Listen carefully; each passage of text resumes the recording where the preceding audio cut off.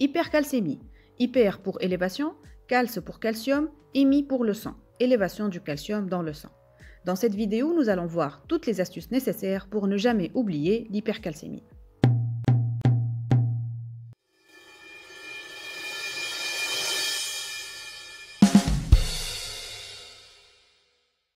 Le calcium est un ion important, majeur dans le corps humain.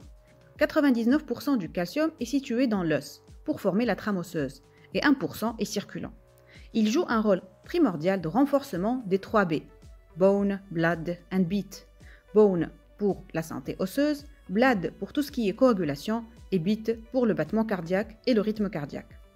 Le calcium est absorbé par le tube digestif et il est en circulation continue et échange continu avec l'os pour participer au remodelage osseux. L'excès de calcium est éliminé par les urines. Si nous avons une diminution du calcium, il y a une régulation qui se déclenche passant par l'hormone PTH, parathyroid hormone, qui va augmenter la libération osseuse de calcium, va augmenter la réabsorption rénale de calcium et va stimuler la calcitriole qui va augmenter l'absorption digestive de calcium. Vice-versa, si nous avons une augmentation du calcium, il y aura un rétrocontrôle négatif sur la PTH et par conséquent réguler et normaliser le calcium. Le calcium circulant existe sous deux formes, libre et lié à l'albumine. Seule la forme libre calcium ionisé est active. D'ailleurs, pour mesurer la calcémie d'un patient, on va faire un prélèvement sanguin qui va nous donner le taux de calcium total. On doit donc mesurer correctement la calcémie en calculant la calcémie corrigée basée sur l'albumine et la protidémie. La première formule basée sur l'albumine est la calcémie mesurée moins 0,025 fois l'albumine moins 40. L'autre formule basée sur la protidémie égale calcémie mesurée sur 0,55 plus protidémie sur 160. La valeur normale de calcémie est entre 85 et 100 mg par décilitre ou 2,2 à 2,6 micromol par litre. Au-delà de ces valeurs, on parle d'hypercalcémie. Les causes de l'hypercalcémie, dans 90% des cas, sont soit l'hyperparathyroïdie, soit le cancer. L'hyperparathyroïdie correspond à une sécrétion anormale, de façon bénigne ou maligne, de PTH par les glandes parathyroïdes. Le cancer peut causer une hypercalcémie, soit par le mécanisme de sécrétion paranéoplasique d'hormones PTH-like, mais cette PTH-like n'obéit pas au rétrocontrôle négatif, ce qui fait qu'elle va continuellement augmenter le calcium circulant, soit par une lyse osseuse en rapport avec des métastases osseuses. Mais il y a d'autres causes de l'hypercalcémie, qu'on peut retenir dans l'astuce suivante. Hypercal comme hypercalcémie. H pour hyperparathyroïdie, I pour ingestion excessive de calcium et de vitamine D, G pour glucocorticoïdes, H pour hyperthyroïdie, C pour cancer, A pour Addison comme maladie d'Addison et L pour lithium. Le lithium agit sur la parathyroïde et agit aussi en diminuant le phosphore. Le phosphore étant l'ennemi du calcium, lorsqu'on a une baisse du, phosphore, on a une augmentation du calcium, et lorsqu'on a une augmentation du phosphore, il y a une baisse du calcium. Maintenant, lorsqu'on a une hypercalcémie, le patient va avoir des symptômes. En fait, le calcium agit sur les canaux sodiques des cellules, ce qui entraîne une diminution de la dépolarisation neuronale. Tout ça va aboutir à une lenteur et une diminution de l'excitation au niveau de tout le corps. Au niveau du cerveau, on aura une confusion et une léthargie. Dans le muscle, nous avons une faiblesse musculaire.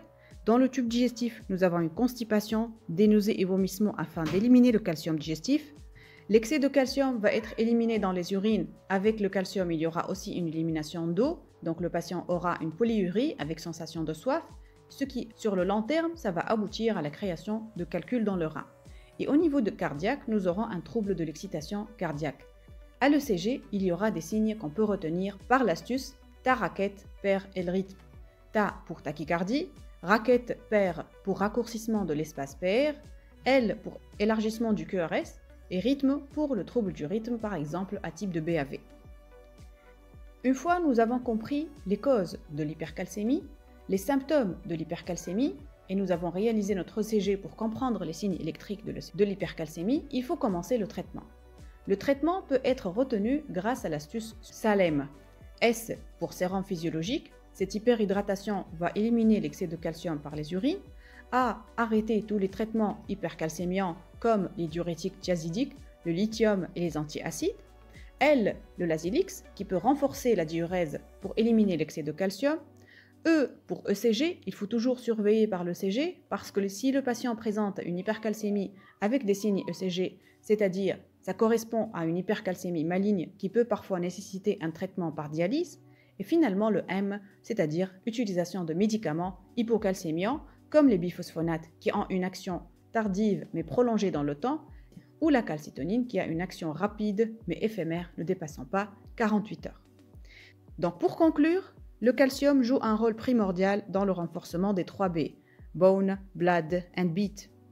Les signes de l'hypercalcémie sont en rapport avec la diminution de l'excitation neuronale, ce qui donne une léthargie et une lenteur dans tous les secteurs du corps. À l'ECG, il y aura des signes électriques qu'on peut retenir par l'astuce Taraket per el rythme. Le dosage du calcium doit se faire en fonction de la protidémie et de l'albuminémie selon la formule de la calcémie corrigée.